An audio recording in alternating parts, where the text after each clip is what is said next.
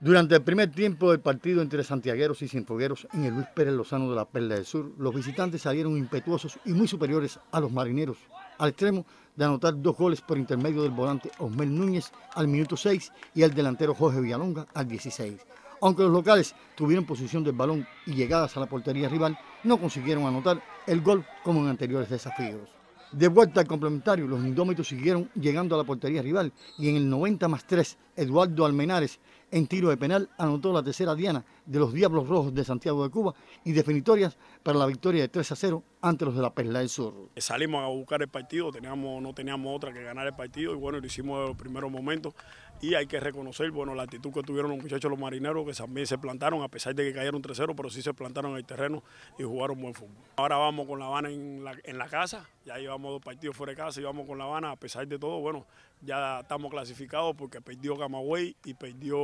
La Habana con Artemisa, es decir, que los finalistas son Artemisa Santiago de Cuba ya desde hoy. En la continuación de la 106 Liga Nacional de Fútbol, esta semana los cienfuegueros para cerrar el torneo clausura en un partido de puro trámite jugarán como visitantes con Camagüey. Desde Cienfuegos, Primitivo González, Noticiero Nacional Deportivo.